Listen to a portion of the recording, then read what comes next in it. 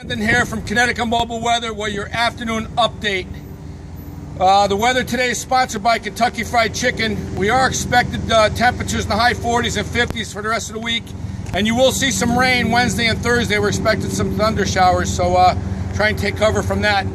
I do have the manager of uh, Kentucky Fried Chicken. Uh, car is outside with me.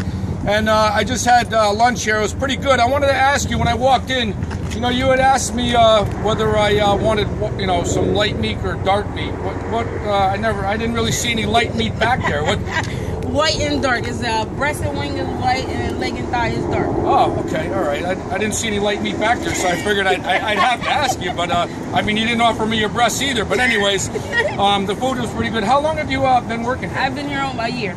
A year. Okay, a year, very. Yes. You guys stay pretty busy uh, yes, throughout the we do. It was a good winter for you. Good winter. Great. You like what you're doing? Yes, I do. Very good. I wanted to ask you. Uh, I did order. You know, when when I ordered the the popcorn nuggets, you know, you said to the chef, uh, you know, give me a popcorn nugget. I mean, I don't know what his nuggets look like. I got to tell you, I got kicked in the nuggets one time, and, and it was pretty painful. I got to tell you, but uh, the the pot pie that I had, I really feel like I'm a little bit like hallucinating a little bit. What's in your pot pie? It's uh, chicken, vegetables, and like a sauce. It's like a pot pie filling, homemade pot pie. Oh, okay. Because I never had pot pie before, and I figured I'd order it. I didn't know if I needed a special license to eat it, but.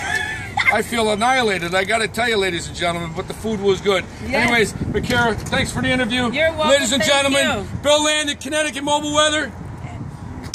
Anchorman, Connecticut Mobile Weather, taking it back to you.